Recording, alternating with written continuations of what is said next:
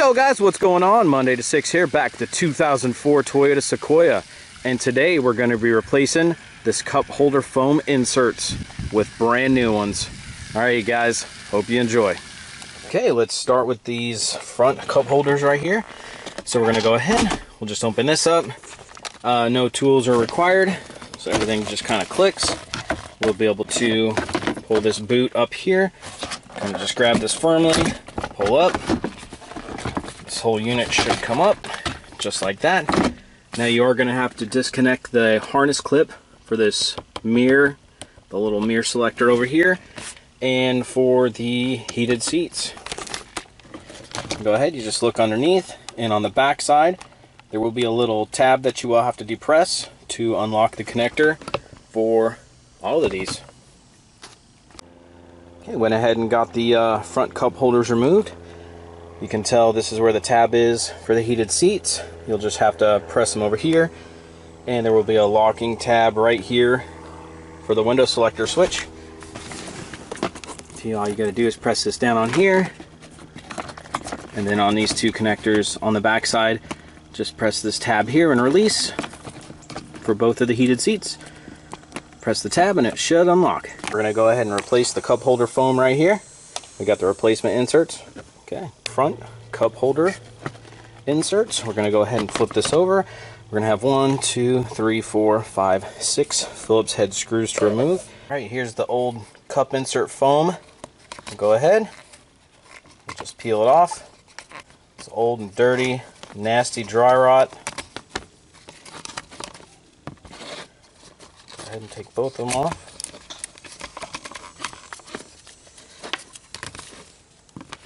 Alright, the old foam is off. Getting ready to install the new foam. Got one of the cup holder inserts on.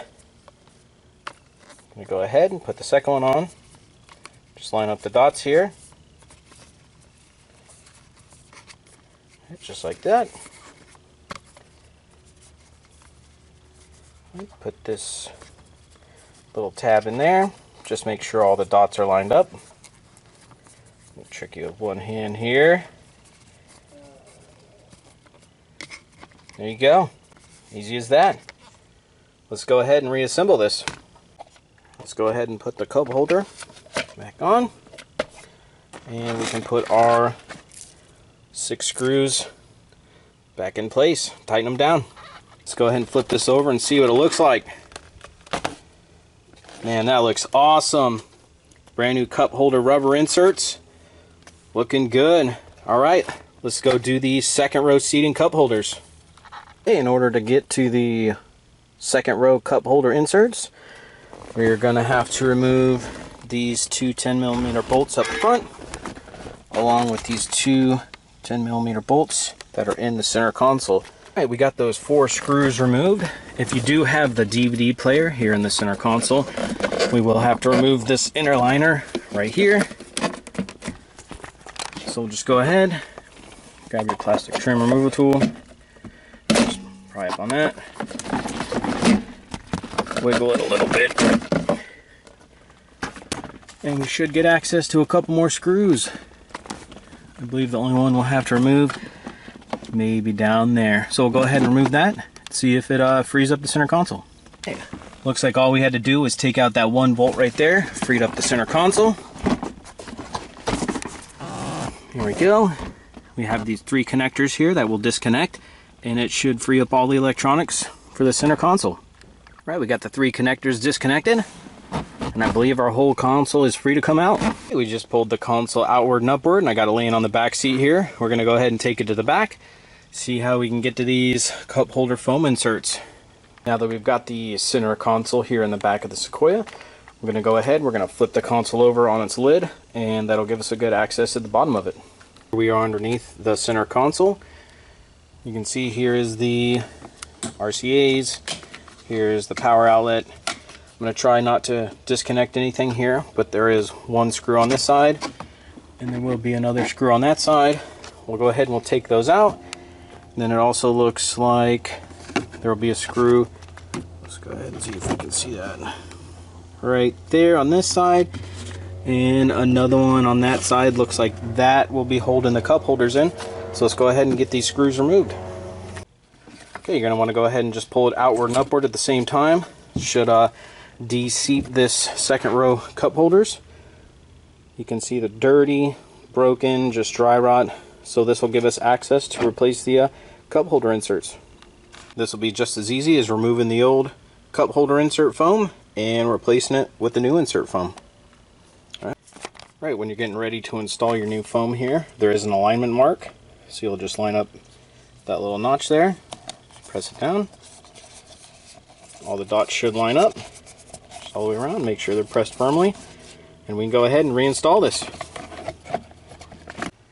Before we go ahead and throw the screws that hold this console back together, want to go ahead and make sure these inserts are in there correct. Man, they sure look really good. Way better than the old dry rotted, outdated cup holder inserts. Alright, now that we know they're in there good, we'll go ahead and re-put the uh, screws in. Now that we got the cup holder inserts all ready to go, we're to go ahead and we'll throw this center console back in. We got the center console back in place, not bolted in yet. We'll go ahead, reconnect these three connectors here. Just as simple as plugging them in, listen for the clicking sound, you know they're fully seated. And then the five bolts, two there, one there, and two up front. Okay, let's go ahead and put everything back together. We'll go ahead and put this plastic insert back in here where the DVD player is at. Should snap right in, just like that. Getting ready to put this center console lid with the cup holder inserts all done. We gotta connect our two heated seats and the power mirror connector. Everything will just uh, click right in, plug and play. Let's uh, put it together the way we took it out. We got everything clipped in, all the connectors connected. We're gonna go ahead and make our way to the third row cup holders. And here we are at the third row cup holders. Just gonna take your plastic trim removal tool, put it here, gonna unlock it, and uh, yeah, it'll give you a good opportunity to clean the cup holder, yeah, and everything that's around it. So let's go ahead and just remove uh, this for both sides. Okay, I got both third row seat cup holders here. These inserts just simply slide out. I'm going to take them out. They're gross. I'm actually just going to take these inside and clean them real quick with some soap and water. Just stuff all over it everywhere. Have some stuff soaking over there where I removed these underneath. But yeah, let's get them cleaned up. Getting ready to install the third row seat cup holder inserts. So we went ahead and cleaned this up. Got it all washed out. This is just as simple as taking these and just push them in. Sorry, hard to do this with one hand. Just as simple as that. Just take them. Insert them right here.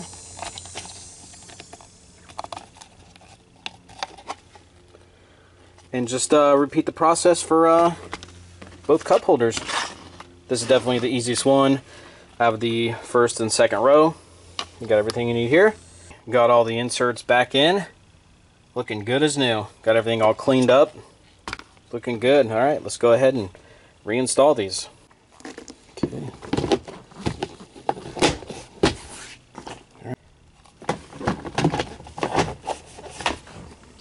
All right. And here's the third row in the back. Looking good. Here's the second row cup holder inserts. Looking good. Looking new. Here is the front driver and passenger cup holder. Nice and replaced inserts. Just makes everything look new. Alright you guys, Hope you enjoyed the cup holder insert video. And as always, Munnday to 6, out.